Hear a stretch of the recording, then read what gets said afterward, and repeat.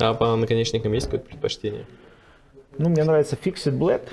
Э, ну, вот Монтеги, которые вот у нас они тоже представлены. Э, наконечник просто себя зарекомендовал хорошо. Ну да. Он обслуживается супер. То есть, если ты не нарушил геометрию, он всегда легко подправляется на обычном точильном камне. Э, летит идеально. Вот. И опять-таки, я говорю, и, можно пулять и кабана там 40 килограмм, и охотиться также на лось. А То раскрывашки? Раскрывашки имеют место быть, э, скажем, косули. Ну, то есть раскрывашки я использую на животных до где-то там 100-120 килограмм, не больше. Угу. Потому что кинетическая энергия стрелы сильно теряется при раскрывании, но угу. все зависит от конструкции наконечника. Вот. И проникающая способность где-то на 20-30% она снижается. Угу. То есть раскрывашкой пробить там хорошего лося ну, практически невозможно. А бродхэт его пробьет там насквозь. А мы стремимся к тому, чтобы стрела пробила э, как бы обе, оба легких. Есть курс IBEP, так называемый, я его в свое время очень э, там скажем, ну не настойчиво, а пытался продвигать так в массы. Это международный э, International Bull Hunting Education Program, придумали американцы. Угу. Стандарт, по сути, это такой охот минимум.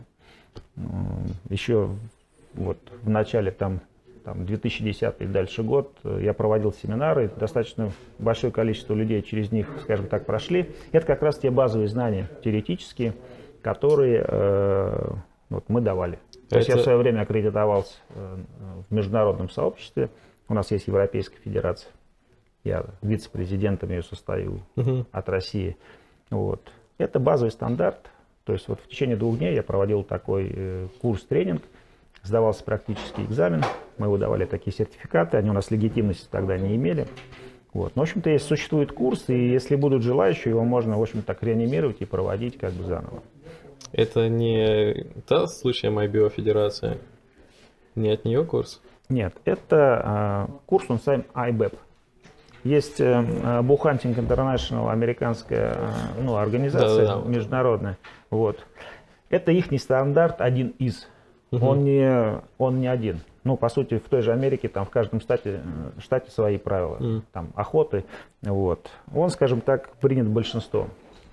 Ну и по сути те каноны, которые декларирует каждый там штатов, организаций, то есть он его может транслировать там ну, на любое. Единственное, э, в каждой стране есть своя специфика в виде законов.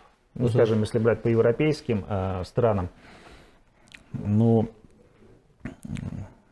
где-то, допустим, ограничения по видовому составу, там, в той же Финляндии. То есть максимум, кого там можно добывать с лука, это только косули. Угу. Э, у французов у них самое доступная, скажем так, охота с луком. То есть они там практически все могут добывать с луком. Скажем, а, родина Робин Гуда, Великобритания, охота с луком невозможна.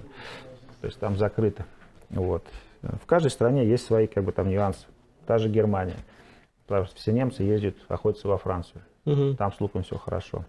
Ну, этот курс IBEP, это говорю, это охот минимум. То есть начиная от матчасти, анатомии животного, приманивания, э, тактики стрельбы, а, общей настройки лука, вот эти знания базовые мы все даем. То есть туда может пойти человек, который вот вообще Чайник. еще в луках да, не разбирается. Да, но он должен быть охотником, потому что э, охотника проще научить угу. прям в разы э, что-то добывать с лука, нежели взять чемпиона сейчас какой-то мастер спорта э, по стрельбе из лука. Угу. Это будет небо и земля. Потому что охотнику нужно просто научиться стрелять из лука. Это можно сделать достаточно быстро при определенном навыке. Угу. То есть в свое время компания Interloper, да, которую ты тоже знаешь, вот, э, Эдик Харчевников, который там в свое время там работал, вот он меня там за один день научил стрелять из лука. Угу. Я к нему пришел. Да, У меня тренер тоже всегда говорил, что если умеешь стрелять из чего-то из одного, значит из всего остального тоже запросто научишься. Да. Проблем Поэтому будет. вот Эдуард Харчевников научил меня стрелять из лука.